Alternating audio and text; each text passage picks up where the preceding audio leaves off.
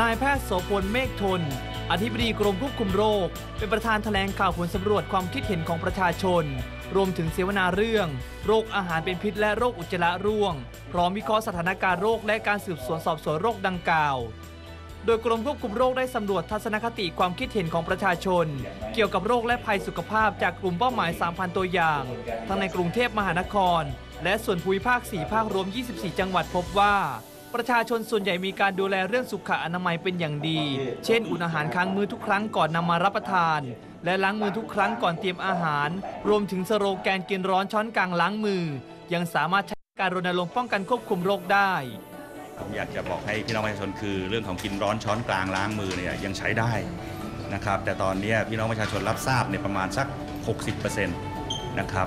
แต่พฤติกรรมที่เกิดเรื่องของการล้างมือบ่อยๆ หรือกินอาหารต้องอุ่น หรือใช้ช้อนกลางเนี่ยมีเพียงประมาณแค่ครึ่งเดียว 50%จะทำให้เห็นว่าเราไปถามพี่น้องประชาชนว่าใครเจ็บป่วยด้วยอุจจาระร่วงไหมหรืออาหารเป็นพิษไหมเนี่ยนะฮะในรอบ 6 เดือนเนี่ยนะครับคนที่ตอบเนี่ยพบว่ามีปัญหาอยู่นะครับมีปัญหาอยู่ประมาณสักอ่อหนึ่งใน3นะครับแล้วก็ปลอดภัยเนี่ยประมาณครึ่งหนึ่ง50% นะครับที่เหลือก็คือไม่แน่ใจนะครับนั้นไปด้วยกันก็อยากให้กินร้อนช้อนกลางล้างมือเพื่อที่จะป้องกันเรื่องของโรคอุจจาระร่วงอย่างไรก็ตามจากผลสำรวจความคิดเห็นของประชาชนพบว่าประชาชนส่วนใหญ่อยากให้สถานที่สาธารณะมีจุดล้างมือ มีสบู่เหลวและเจลล้างมือ